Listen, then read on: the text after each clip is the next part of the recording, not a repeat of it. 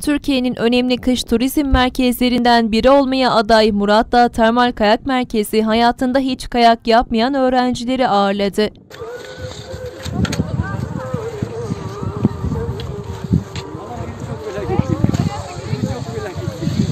Gazi Emet Anadolu Lisesi'nde okuyan öğrenciler Emet Kaymakamlığı'nın düzenlediği etkinlikte Murat Dağ Termal Kayak Merkezi'nde bir araya geldi. Keyifli vakit geçiren öğrenciler kayak antrenörü eşliğinde kayak yaptı. Etkinliğe Emet Kaymakamı Hasan Çiçek'in eşi Songül Çiçek de katıldı. Ee, kendilerinin mutluluğunu birlikte yaşadık. Ee, İki kaymakamımız Hasan Çiçek'e, Milli Eğitim Müdürümüze çok teşekkür ederim. Bu gibi aktivitelerin tekrarını temenni ediyorum.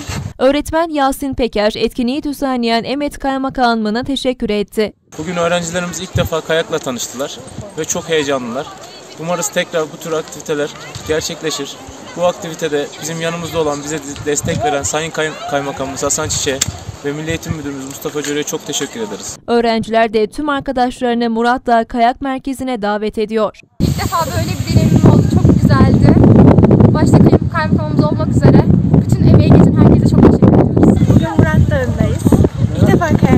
videos.